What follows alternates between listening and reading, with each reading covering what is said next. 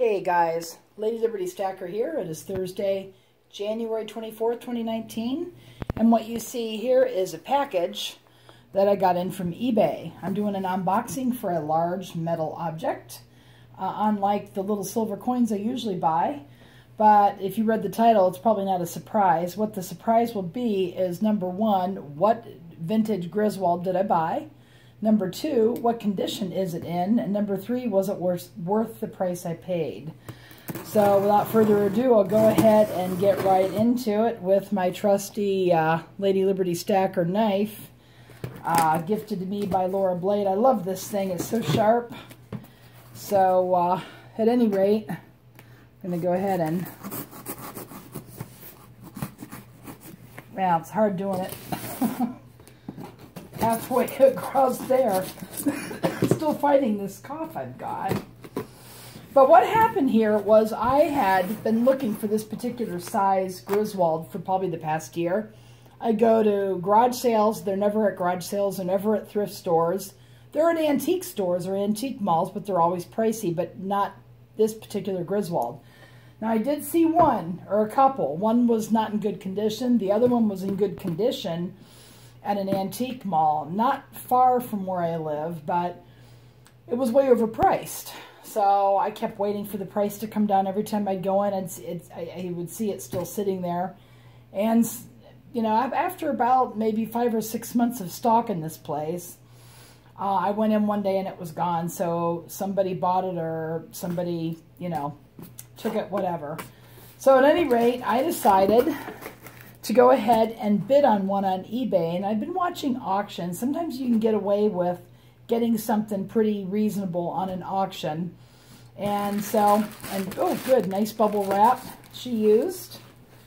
And some more of these air pillows. That's kind of nice. I'll save that for future uh, uh, unboxing. So this is the skillet. The only problem with the box wasn't quite big enough because there is a hole here and the handle was sticking out of it.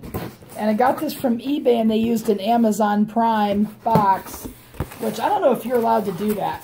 Um, I've kind of questioned that myself and using that to send it out. But yeah, this is the skillet. Now I got this, there's only two pictures. And I normally wouldn't even bother with two pictures, but I'm not looking for something that's pristine. I'm looking for something in good condition that I can restore myself. Strip, sand down if I need to, any rough spots, and remove all the rust and season it the way I like. So she kind of wrapped it here in bubble wrap, and not bad. Let's see. This is a vintage Griswold, and actually, actually it's in pretty good shape. It is a large logo, 701, cast iron skillet number 7. The number 7 is more rare. Boy, is it cold. It was sitting uh, outside in the garage before I was able to bring it in, but uh, it, I don't know if it's going to spin a lot. I hate to, it's kind of grimy here, so let's take a look at it over here. And let me move the box back. And we take a look at it, and we give it the ring test. It rings, there's no cracks, and it seems to be very flat on the inside. And I've cooked with ones with warps before. I mean, a slight wobble. Doesn't have much, eh, it's hard to tell. Your table has to be level. It has a slight wobble, but I don't know of any skillet that's perfectly flat, honestly.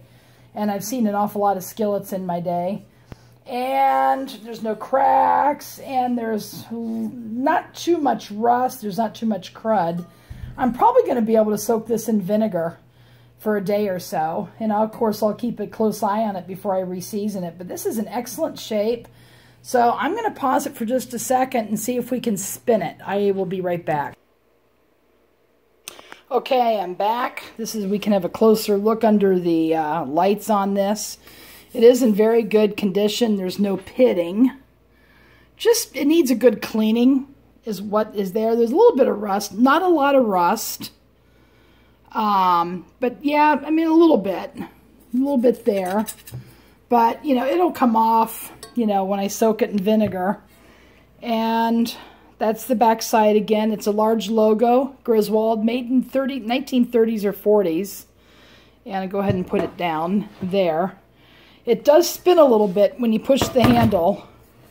Um, I don't know if it will after I uh, smooth it out a little bit, but you know, it's okay. And I paid $42 plus shipping, and the shipping was priority, so it was about nine bucks or so. So it, it came to about 53, which isn't bad for a skillet like this because the skillet that, that they were showing at the antique mall, they wanted $65 for it.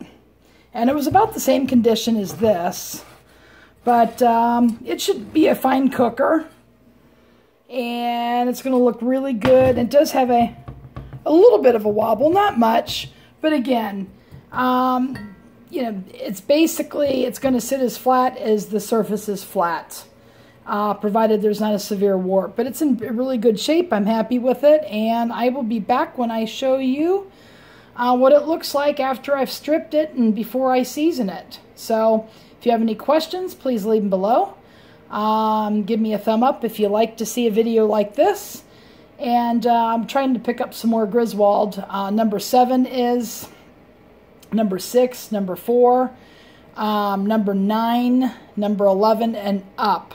Uh, the larger sizes are increasingly hard to find, and the number four, the number six, and seven are a little hard to find. I've only found one or two, like this one. I have one, but it's a small logo, but I use it, you know, when I make omelets. But I really like the Griswold. It's light, it's easy to handle, and that's going to make a very nice cooker. So, at any rate, um, thanks again for watching and go make it a great day.